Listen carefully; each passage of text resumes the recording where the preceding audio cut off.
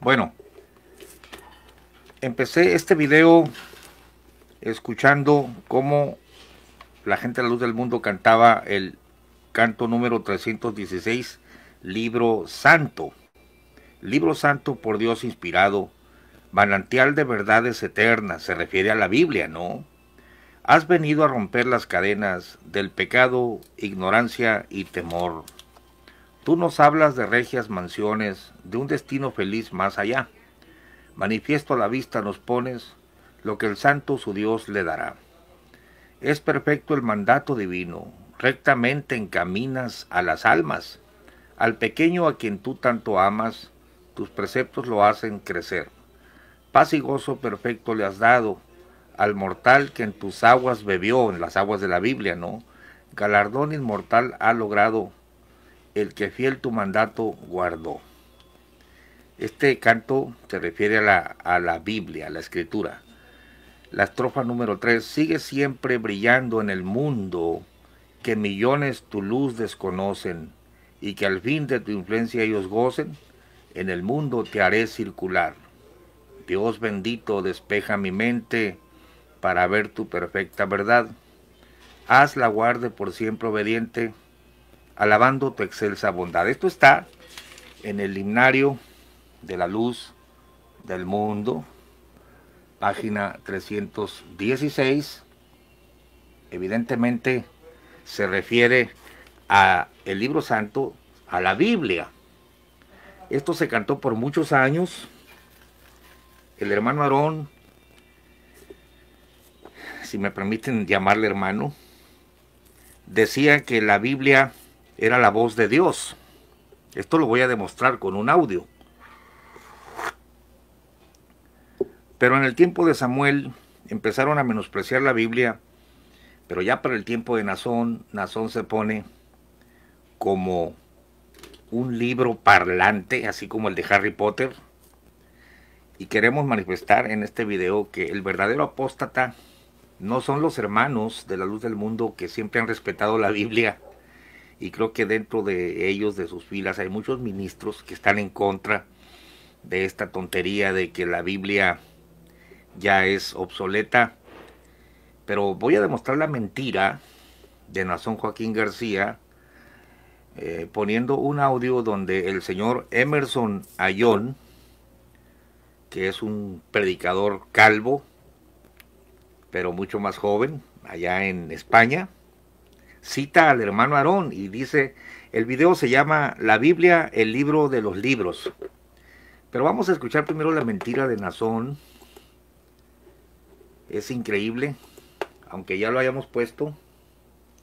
El otra vez, te lo voy a volver a poner aquí. Mira lo que dice este señor. Ten paciencia porque es importante examinar la apostasía de Nazón Joaquín García y que mucha gente de la luz del mundo está en contra de, lo, de la nueva doctrina que este señor supuestamente estaba desarrollando y, y, cuando cayó al bote, pues el señor no le dejó continuar con esta tontería, ¿no? Escuche. La palabra de Dios no es un libro lleno de letras, no hermanos, este libro es un testimonio que habla de un pueblo pasado, que es el pueblo de Israel, que habla de una iglesia primitiva, como es la iglesia de Dios, nuestros hermanos que vivieron en aquella época. Pero esta no es la palabra de Dios, porque la palabra de Dios no puede ser letra, pero esta no es la palabra de Dios. Pero esta no es la palabra de Dios. La época. Pero esta no es la palabra de Dios. Pero esta no es la palabra de Dios. Pero esta no es la palabra de Dios. Pero esta no es la palabra de Dios. O sea, la Biblia para Nazón no es la palabra de Dios, porque la palabra de Dios no puede ser letra. Ahorita te voy a explicar cómo barajan estos conceptos.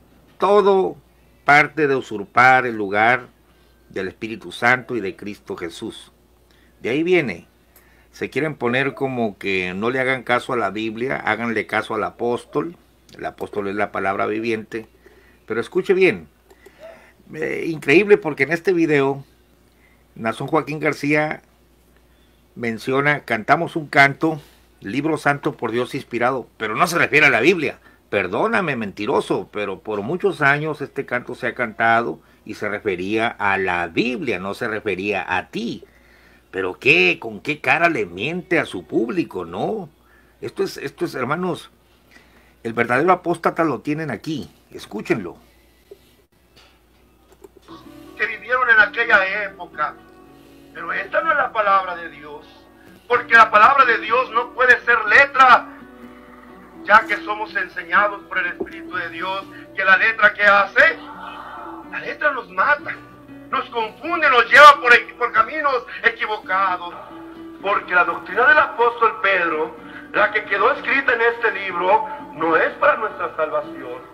La doctrina del apóstol Pablo, que está plasmada en este libro, no es para nuestra salvación. ¿Y por qué dice, hermano Nazón, que esa palabra, no, hermanos, ahora no tiene validez para nuestra vida eterna? Porque ellos no pueden responder por esa palabra. ¿Y entonces qué hacemos? Hermanos, sigue habiendo palabra de Dios en la tierra. Sigue existiendo el Evangelio eterno en la bueno, cuando él dice sigue existiendo el Evangelio eterno, hay que entender que este señor se cree el ángel del Apocalipsis.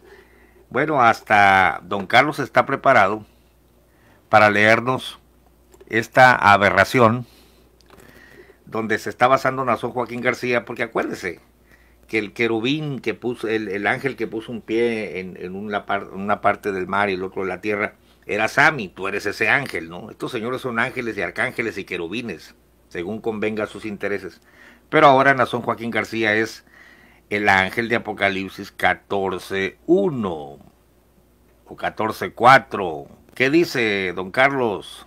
Apocalipsis 14, 6 al 9, el mensaje de los tres ángeles. Vi volar por en medio del cielo a otro ángel, que tenía el Evangelio eterno para predicarlo a los moradores de la tierra, a toda nación, tribu, lengua y pueblo, diciendo a gran voz, Temed a Dios, y dadle gloria, porque la hora de su juicio ha llegado, y adorad a aquel que hizo el cielo y la tierra, el mar y las fuentes de las aguas. Otro ángel le siguió, diciendo, Ha caído, ha caído Babilonia, la gran ciudad, porque ha hecho beber a todas las naciones del vino del furor de su fornicación. Y el tercer ángel los siguió, diciendo a gran voz, Si alguno adora a la bestia y a su imagen, y recibe la marca en su frente o en su mano, este también beberá del cáliz de la ira de Dios.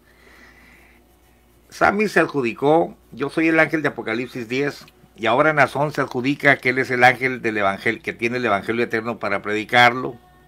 Pero el problema es de que hay un segundo ángel que le sigue y un tercer ángel, a ver a quién acomodan a, Doraim o a Carlos Montemayor o a ver a quién meten porque son tres ángeles. Esto es una farsa. Él es el, ángel del Evangelio Eterno, por eso se lo dice entre dientes aquí a la gente, ¿no? La Biblia ya no vale, pero él es el que tiene el Evangelio, él es el ángel viviente. Por esa palabra. ¿Y entonces qué hacemos? Hermanos, sigue habiendo palabra de Dios en la tierra. Sigue existiendo el Evangelio eterno en la tierra porque en la tierra sigue habiendo siervo de Dios. Conforme al plan de qué, hermanos? Conforme al plan de Dios. Bueno, y vamos a la mentira del libro santo, miren. Nosotros le decimos, sí, también leemos la Biblia, pero no es la Biblia la que nosotros seguimos, vamos siguiendo decimos en una alabanza, ¿verdad? Libro santo, por Dios inspirado. ¿Nos referimos a este libro? No, hermanos. Porque si fuera esta letra, igual estaríamos como nosotros, confundidos. Bueno, nos acaba de decir el Señor que la Biblia no es la palabra de Dios, porque la letra mata, ni siquiera entiende el pobre que cuando la Biblia, cuando Pablo emplea el término la letra mata más el espíritu vivifica, está hablando de que la ley te señala el pecado y el pecado te mata por medio de la ley, no se refiere al libro. El pecado me mató, dice, la ley me mató por el pecado. No entiende él lo que lee.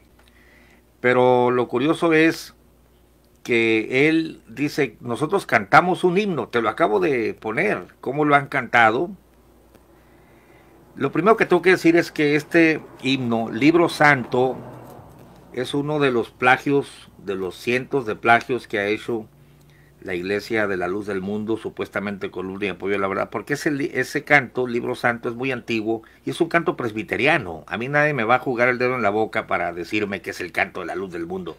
Es un canto presbiteriano. Este himnario está lleno de cantos de grupos evangélicos. Esta gente ha agarrado y ha plagiado, ha tomado hasta melodías mormonas, letras mormonas y las ha metido aquí. De esto vamos a hacer un video. Entonces, este plagio de tomar el, el himno presbiteriano y ponerlo como si fuera luz mundano, bueno, así han engañado a su feligresía creyendo que tiene una gran himnología. El 90% de lo que cantan son, son cantos cristianos evangelios católicos y mormones, por si no lo sabían. Pero el canto, por supuesto, está bien hecho y en la luz del mundo se cantó refiriéndose a la Biblia, no al libro viviente ahora en Azón. Como él dice, el libro, el que te está hablando ahora, el, no dice, nos referimos a este, a este libro. No, escúchalo de nuevo. No, hermanos, vamos siguiendo. Decimos una alabanza, ¿verdad? Libro santo, por Dios inspirado. ¿Nos referimos a este libro? No, hermanos. Bueno, la alabanza al libro santo por Dios inspirado sí se refiere a este libro, a la Biblia, y así lo entendió por muchos años la iglesia, la luz del mundo, a columna y apoyo, la verdad lo cantaron, nunca se lo cantaron a Sami, nunca se lo cantaron, por supuesto, a Aarón. Es un canto exaltando las virtudes del libro de los libros. Punto número uno. Está echando una mentira este señor, negando lo que han cantado, negando que ese canto no se refería a él, sino a la Biblia.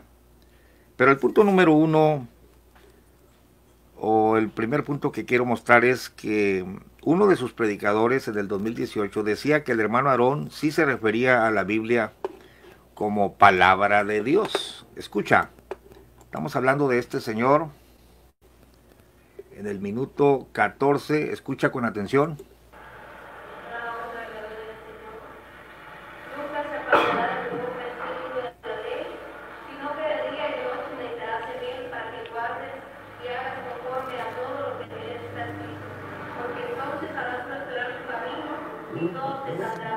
Dios le pague. Nunca, como le dice Dios a Josué, Josué, mira, nunca se apartará de tu boca este libro de la ley, sino que de día. ¿Qué iba a ser de día Josué? Meditar. De día y de noche meditarás en él, para que guardes. ¿Para que qué? Ah, no, no, no solamente leerlo, no es como una novela que yo la leo y me recreo y qué bonito y qué hermoso. No, no. No, no, la Biblia no es una novela. La Biblia no es un cuento. La Biblia no es un libro de historia. La Biblia es un libro sagrado. Es un libro que habla la verdad. Es un libro que tiene promesas para nuestra vida, hermano. Es un libro, como decía el hermano Aarón, es Dios hablando. Es un libro que tiene promesas para nuestra vida, hermano. Es un libro, como decía el hermano Aarón, es Dios hablando. ¿Quién es? Para nuestra vida, hermano. Por los profetas. Es Dios, decía el hermano Aarón, hablando para nuestra vida, hermano. Es un libro, como decía el hermano Aarón, es Dios hablando. Es un libro, como decía el hermano Aarón, es Dios hablando. Es un libro, como decía el hermano Aarón, es Dios hablando. Es un libro, como decía el hermano Aarón, es Dios hablando. La Biblia no es una novela, decía el hermano Aarón. La Biblia no es cualquier libro. De hecho, el, este video, y te voy a dejar el link, es del 2018, es un predicador de España.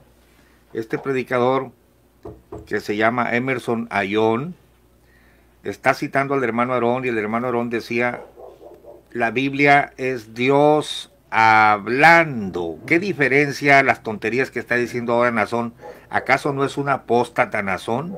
¿Acaso no está negando la fe de su abuelo? Definitivamente. Fíjese bien, cómo cita al hermano Aarón y el que se apartó de la, el que apostató de esta fe es Nazón. Nazón es el apóstata, no los hermanos de la luz del mundo. Porque yo pienso que muchos de los que están ahí respetan la Biblia como palabra de Dios, como lo decía su primer dirigente. Mire, otra vez. Como le dice Dios a Josué, Josué, mira, nunca se apartará de tu boca este libro sino que de día. ¿Qué iba a ser de día, Josué? Meditar. De día y de noche meditarás en él, para que guardes. ¿Para que qué? Ah, no, no, no solamente leerlo, no es como una novela que yo la leo y me recreo y qué bonito y qué hermoso. No, no. No, no, la Biblia no es una novela. La Biblia no es un cuento. La Biblia no es un libro de historia. La Biblia es un libro sagrado. Es un libro que habla la verdad. Es un libro que tiene promesas para nuestra vida, hermano. Es un libro, como decía el hermano Aarón, es Dios hablando. ¿Quién es? Es Dios, decía el hermano Aarón, hablando a través de los patriarcas. Es Dios hablando a través del tiempo por los profetas. Es Dios hablando a través del tiempo por su Hijo, por sus apóstoles. Es Dios el que nos está ¿qué? hablando.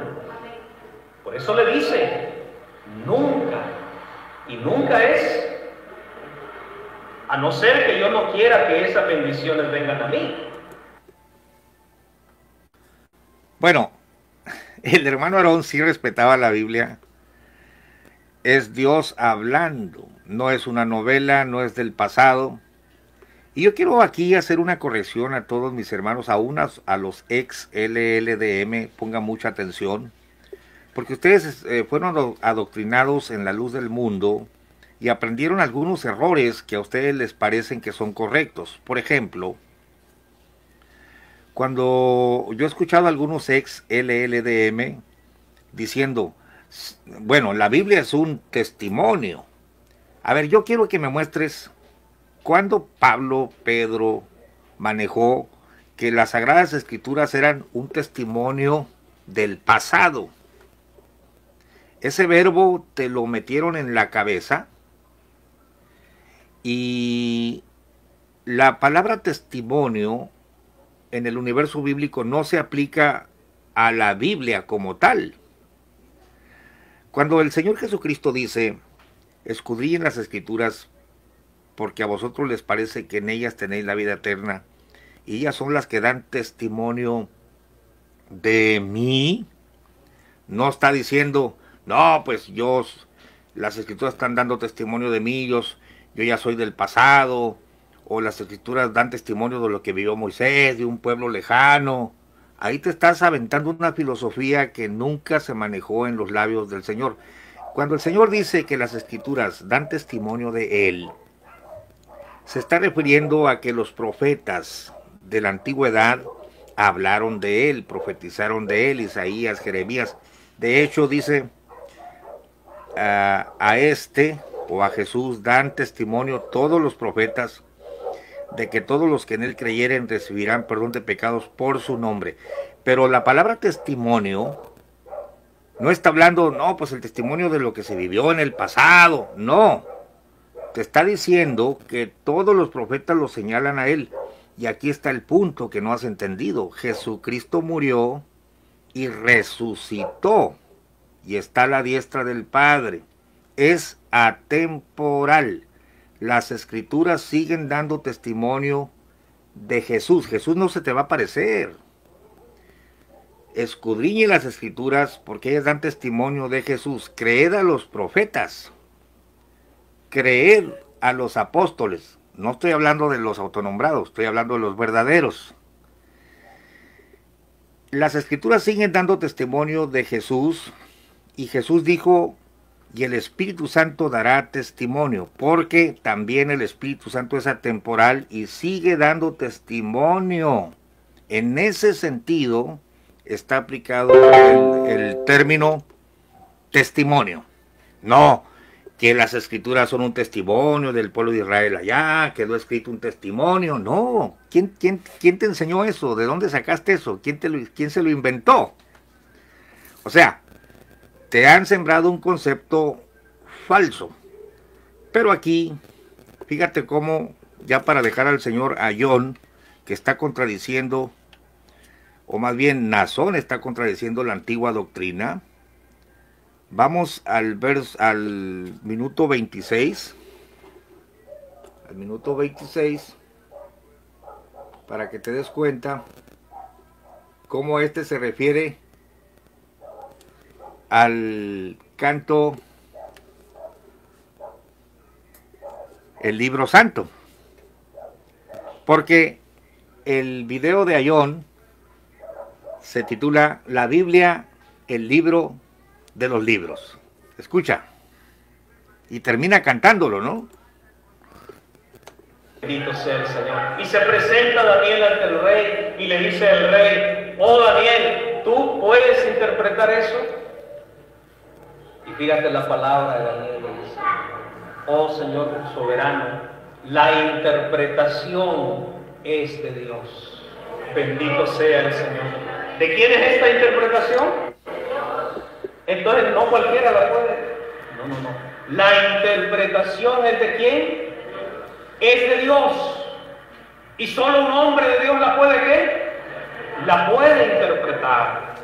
Y le dice, oh rey, ahí es lo que dice Tequel Menet, y le empieza a interpretar, le dice, tus días han sido contados, tu reino ha sido desgarrado de tu mano por cuanto no tuviste, y le empieza a qué? a interpretar la palabra de quién.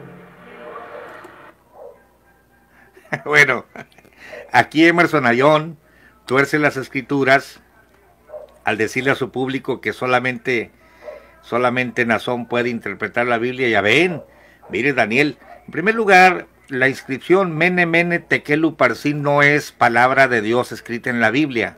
Ese era un, una, un movimiento místico contra Belsasar. Esa no es la palabra de Dios, el Evangelio o la enseñanza de Jesucristo que tiene que ser interpretada. Daniel está interpretando un movimiento profético para Belsasar, pero este lo aplica a toda la Biblia y dice, no, pues solo Daniel, solo un hombre de Dios.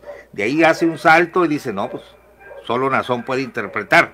Pero todavía este planteamiento de que la Biblia es la palabra de Dios y nadie la puede superar. Dios habló a través de estos hombres siendo inspirados del Espíritu Santo. Lo tiene la Iglesia Católica, lo tiene la Iglesia Mormona. Es mucho más legítimo el catolicismo cuando te dice la Biblia es la palabra de Dios inspirada, porque los santos hombres de Dios hablaron siendo inspirados del Espíritu Santo, pero solamente hay un problema que tú no la puedes interpretar, feligrés católico, tiene que ser el magisterio. O sea, el catecismo la Iglesia Católica, los que hacen el catecismo o la enseñanza, es el magisterio. Y ellos van a pelear eso, que usted y yo no podemos interpretarla, porque la autoridad la tiene el magisterio católico, sus maestros. Y estos maestros dependen de los de todo el el orden católico y hasta llegar al Papa y el Papa es sucesor de Pedro, ¿no? Ese es el planteamiento católico. Es más legítimo lo que está diciendo Ayón, tratar de decir, usted, mire, la Biblia es la palabra de Dios, Aarón lo enseñó, pero quiero decirles que solamente hay un hombre que la puede interpretar. Claro que está torciendo las escrituras usando la cuestión de Daniel, la Biblia no dice así. La Biblia dice escudriñen ustedes las escrituras, léanlas. La Biblia dice que los de Berea escudriñaban las escrituras a ver si estas cosas eran así. Ellos podían juzgar a Pablo, a ver si no me estás echando mentiras. Es lo que dice la Biblia. No es cierto que un hombre nada más la puede interpretar. No, es la palabra de Dios para todos. eso sería tanto como decir, usted tiene la constitución política de los Estados Unidos mexicanos, ah, pero usted no ni la puede leer o léala, pero no la puede interpretar. Claro que la puede interpretar. Entonces, ¿cómo voy a saber mis derechos si los políticos van a violentar la Carta Magna? Pues si no es la ley de ellos, es la ley para todos. Es la ley de Dios. Entonces, todavía antes de que cayera el bote Nazón en el 2018, Ayón está defendiendo que el que puede interpretar, y, al igual que el magisterio católico, es Nazón Joaquín García. Pero Nazón se voló la barda cuando dice, no, la Biblia ya no es la palabra de Dios, yo soy el libro viviente. Pero entonces aquí, Ayón defiende lo que defienden los católicos, ¿no? Usted léala, pero solo un hombre la puede interpretar. Escuche. Así es la escritura. Si no hay alguien que nos la cree, pero tú tienes quien te la explica. Hay un hombre de Dios que nos explica. Hay un hombre de Dios que nos habla como Daniel. Esta es la voluntad de Dios. Esta es la palabra de Dios. Bendito sea el nombre del Señor. Y Él nos ha dicho, hermano, dedica al menos una vez al día, una hora, a meditar en la qué? En la palabra de Dios. A ver, aquí no sé quién les había dicho, dedica una hora al menos a meditar en la palabra de Dios. ¿Era Sami o era Nazón en el 2018? Pero todavía se consideraba palabra de Dios y si citaban a Aarón, es la palabra de Dios. Pero, ah, Nazón ahora te está diciendo que no. Pero déjame terminar con Ayón, cómo remata con el canto libro santo, un canto presbiteriano robado, pero que se refería, por supuesto, a la Biblia. ¿Es palabra de Dios eso? Sí, hermano, que Dios nos permita y nos ayude a infundir y poner al alcance de nuestros hijos esta sabiduría. ¿Qué es esto? Sabiduría de lo alto. Sea esto para la honra y la gloria del Señor Jesús. Vamos a entonar un canto, es el número 316. Dice el canto, libro santo por Dios inspirado, manantial de verdades eternas. Has venido a romper las cadenas del pecado, ignorancia y temor. Tú nos hablas de regias mansiones, de un destino feliz más allá. Manifiesto a la vista nos pones lo que al santo su Dios le dará. Si lo tiene la iglesia, lo entonaremos para la honra y la gloria del Señor.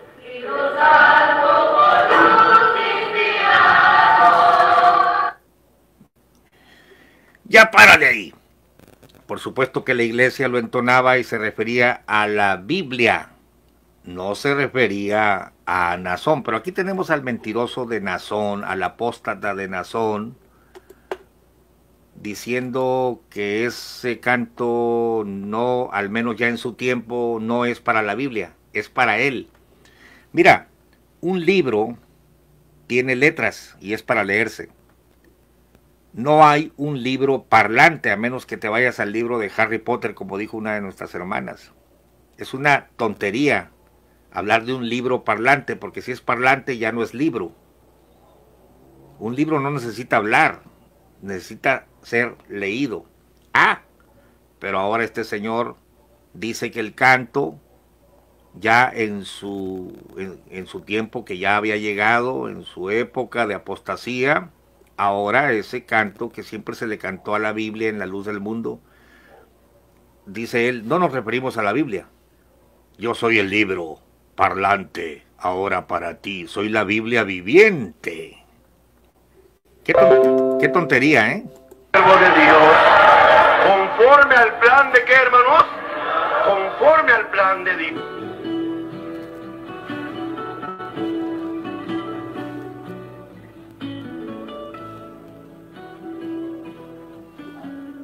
Nosotros les decimos, sí, también leemos la Biblia, pero no es la Biblia la que nosotros seguimos, vamos siguiendo. Decimos una alabanza, ¿verdad? Libro santo, por Dios inspirado. ¿Nos referimos a este libro? No, hermanos. por Dios inspirado. ¿Nos referimos a este libro? No, hermanos, siguiendo. Decimos una alabanza, ¿verdad? Libro santo, por Dios inspirado. ¿Nos referimos a este libro? No, hermanos. Decimos una alabanza, ¿verdad?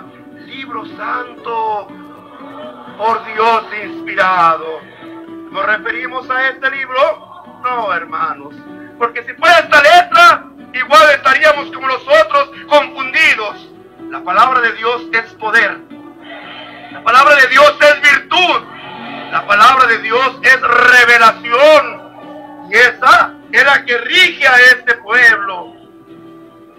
Hoy podemos decir que más que este libro, hay un libro por Dios inspirado. Un manantial de verdades eternas. El que viene a romper estas cadenas del pecado, de la ignorancia. Así es, hermanos.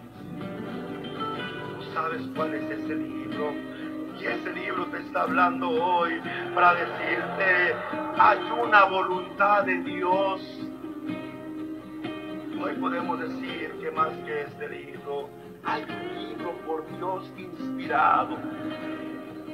Manantial de verdades eternas.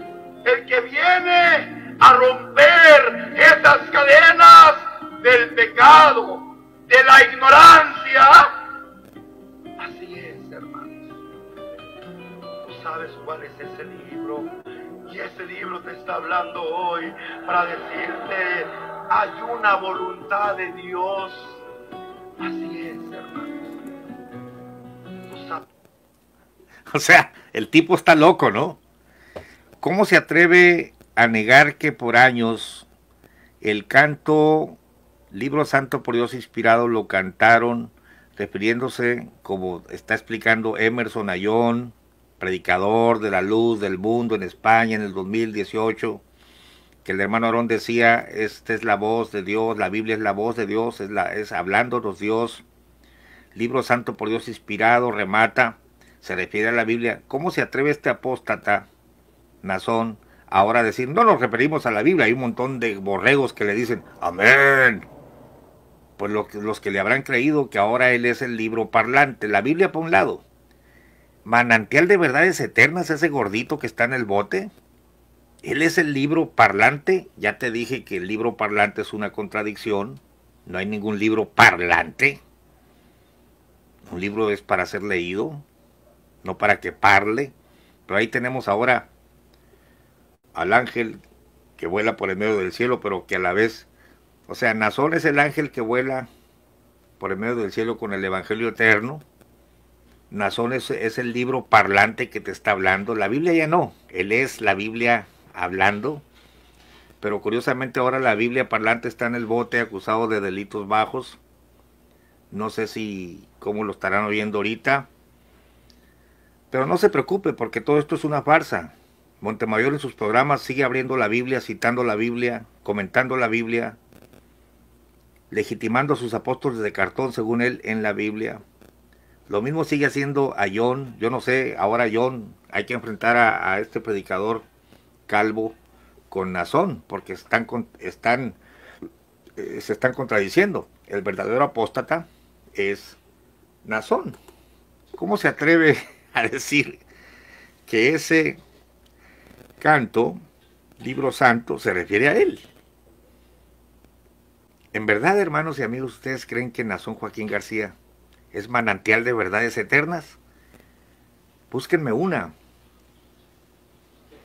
Ayer encontré un, un, una verdad eterna. ¿Recibiráis? ¿Qué, qué, qué, qué real manantial de verdades, ¿no? Increíble. Este libro te está hablando hoy para decirte, hay una voluntad de Dios. Así es, hermanos. Tú sabes cuál es ese libro. Y ese libro te está hablando hoy para decirte, hay una voluntad de Dios.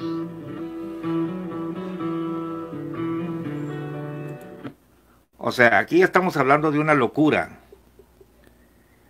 increíble que toda esta gente que está oyendo a Nazón, que después de decir que la Biblia te confunde, que la Biblia te extravía, que la Biblia solamente es un testimonio pasado, que no, te, no es para tu salvación lo que escribió Pablo, que lo que se cantó por años, pues se cantó allá y Aarón decía esto, pero yo ahora soy el apóstata y ahora yo soy el libro inspirado. Está siguiendo un loco, está siguiendo un chiflado. Por eso este video se llama Nazón el apóstata, porque ciertamente él ha violentado, ha violado la fe de su abuelo. Porque yo sé que Aarón no fue una persona sana, se desvió, se metió con, con mujeres, tuvo hijos ilegítimos según la historia. Pero bueno, de perdida este señor nunca dijo que la Biblia no era palabra de Dios, sino que Aarón dijo, es Dios hablándote. Mucho menos dijo, yo soy el mediador entre Dios y los hombres. Y tampoco dijo, yo soy el libro viviente, la Biblia ya no sirve. Sami apostató en muchas cosas, violentó las escrituras, pero ya, Nazón, estamos hablando de un trastornado, un loco, y todos los que le dicen amén, Estamos hablando aquí de, cosas que rayan en la barbarie. Sal de ahí, hermano. Si, hermano de la luz del mundo, sal de ahí si todavía respetas la Biblia, si todavía tienes fe en Jesucristo. Sal de allí, porque estas son grandes blasfemias que se están llevando a cabo. Ahora sí, ha terminado el video. Déjenme saludar a todos los que están con nosotros aquí.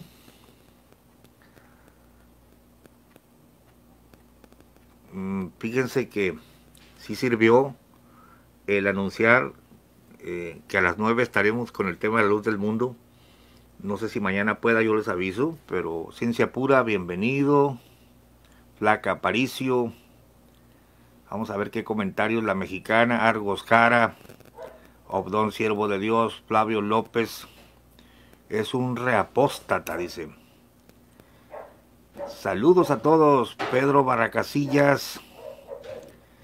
Qué bueno que está con nosotros Mirna Arevalo, Martín Torres. Ya llegó, dice. Qué bueno. Yo demuestro con sus propios videos, hermanos, las desviaciones de la época nazoniana. Ciencia pura dice, mis familiares que estaban en la secta ya no están. La secta dio cuenta de ellos. Está tremendo. True the World, Pastor Gamaliel, saludos, saludos a usted. Tenemos aquí gente nueva. Qué bueno, bienvenidos al canal. Es una locura lo que, está, lo que sucedió con este señor. Porque claro, esto lo, lo, lo dijo antes de que cayera el bote. Como que desagradó a Dios. Alma Lorenia puede leer Romanos 15.4. A ver, ¿qué dice Romanos 15.4?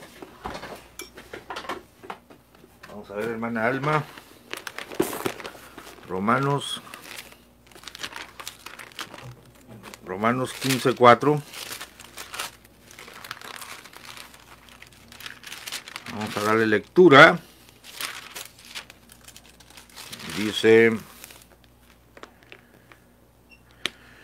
mas el Dios de la paciencia y de la consolación os dé que entre vosotros seáis unánimes según Cristo Jesús. Sí, pero ellos no son unánimes. Ellos se contradicen unos a otros. Mire cuánto comentario hay aquí. Tenemos 131 personas. ¿Dónde estábamos entonces? Always proud of your beautiful girls. Gerardo dice, el pájaro loco, bienvenido. Daniel Pérez, cuando dice que en las aguas vivió, se refiere a Samuel que murió ahogado cuando era niño y revivió. Y le hicieron ese canto cuando él tomó el apostolado. Mm. Ya el momento que le cantas a un hombre, estás torcido. José Báez, bendiciones. A ver, Argos Cara, vino el queso Martín A ver si me aparece. Hay varios comentarios aquí. Canal Apostólico y Profético León de Judá. La locura de los rebeldes de la luz del mundo está en su mero apogeo. Lamentablemente este señor no es cristiano, es un apóstata, un lobo rapaz, de los cuales el apóstol Pablo advirtió que vendrían sin duda. Sin duda. Saludos, Cristian Borrego, desde Mazatlán, el mero Mazatlán. Bonito Mazatlán. Eh... Dani Getón, Dios le bendiga, pastor, Dios te bendiga, Dani, aquí estamos. Qué bueno que están con nosotros. Y terminamos el video.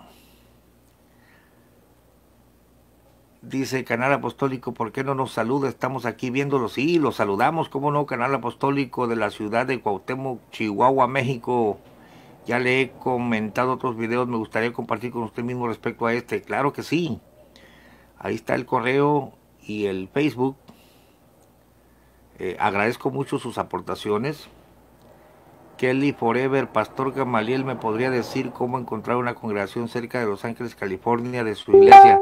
Bueno, le voy a dejar un correo, Carly, para ponernos de acuerdo si hay algunas congregaciones por ahí. Dice Gerardo Beltrán, saludos, por eso los tienen todos dormidos, porque ellos no la leen la Biblia, como el pueblo le decía a Moisés, tú habla con él. Ahí después nos dices qué onda. Increíble, ¿no? Dice Daniel que va a abrir pronto un templo en Los Ángeles. Ángel Rodríguez, saludos desde Atlisco, Puebla. Oh, Atlisco, qué bonito.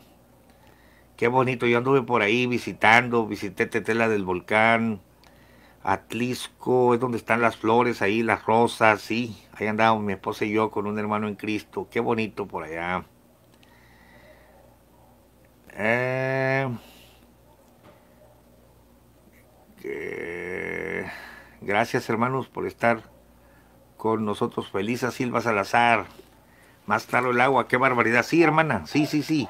Nazón se voló la barda, se volvió loco. Pastor Gama, bendiciones desde Tampico. ¿A qué hora son en vivo? Nunca me avisa. A las nueve van a ser. Y vamos a estar eh, en el grupo de Facebook ya no creo la elección ahí anunciando. No todos los días podemos hacer, hermanos. Contéstame lo que te estoy pidiendo. Sí, ya te saludé, hermano. Y... Faraón Treviño, salúdeme, siervo. Dios te bendiga, Faraón. Treviño, ¿qué nombre tiene ese Faraón? Esvanes, bienvenido. Gracias, José, por las oraciones. El pecado que llevó al panzón a la cárcel fue su ambición de poder y dinero, pues aun cuando llegó al poder se dedicó a acumular todo para sí mismo. Por ahí dicen que agarró las cuentas y las puso a su nombre. No, no, no, definitivamente hay una locura. Lo estoy viendo en la tele, pastor, dice Francisco Franco. Gracias. Dice Canal Apostólico, saludos pastor, cuando compartimos un video soy el pastor Ley Durán Rodríguez de Cuauhtémoc. Un gusto conocerte, hermano. Claro que sí, voy a dejar un, correo para ponernos de acuerdo. Faraón Treviño nunca me avisa. Ya por, por, el medio del Facebook les vamos a avisar a todos. Soy Rosita, pastor. Rosita, Dios le bendiga, Rosita. Eh, qué bueno que hay mucha gente aquí. no se les olvide darle like. Ranky D, bendiciones hermano, están excelentes sus videos, les recomiendo que también haga videos de las herejías que se han filtrado en las iglesias falsas, entre ellas el diezmo. Hay muchos temas que tocar. Dani Guerrero. Eh, pastora, ¿qué se le llama a un padre en la fe? Nada más en LLD me escucho esto. Mire, hay, mucha, hay, hay muchas expresiones en el argot cristiano evangélico, algunas bíblicas, otras no, pero a veces se vuelven enfermizas, como en LLDM todo es enfermizo, porque el momento en que la honra y la gloria se la das a un hombre, ya todo se, echa a perder. Tú le puedes decir mi padre en la fe porque te habló de Cristo, pero ya para decir que, que tu salvación depende de este Señor o que Él te va a salvar. No, eh, en la luz del mundo muchas cosas están exacerbadas, ¿eh? fuera, de, fuera de tono. Ah, dice Saúl Cos que tuvo un sueño y hará su propia religión y él es el apóstol. No, pues lánzate. Está increíble. Dios me lo bendiga. Saluditos desde Tijuana. Madaí Vázquez. Dios le bendiga, hermana Madaí. Madaí. Argos Cara dice la anécdota que le conté en el comentario es que hay una señora que vende comida que es de la luz del mundo y yo estaba escuchando un video de usted con audífonos y fui a comprar de comida y ándele que se le... Mm, ¿Qué, qué pasaría? ¿Escuchó? Carlos Bailón, muchas felicidades. Hermano Carlos, un gran saludo. Pronto nos vamos a conocer. Se me desconectan los audífonos y como la señora lo ubica, me dejó de vender comida, pero ya que ella no es la única que vende comida, te fuiste a comer a otro lugar. Hombre, me han informado que, que son miles de la luz del mundo que me escuchan, porque el tema les atañe, es que han sido engañados, hermanos. Gracias, hermanos se acabó el tema. Eh, anunciaré en la, en la, los videos van a ser a las 9 de la noche del tema de la luz del mundo. En el día pues subiré de enfrentamientos con los espíritus del mal o los cultos regulares, pero lo anunciaré en la página de Facebook. Ya no creo en la elección. Únanse por favor. Gracias. Gracias.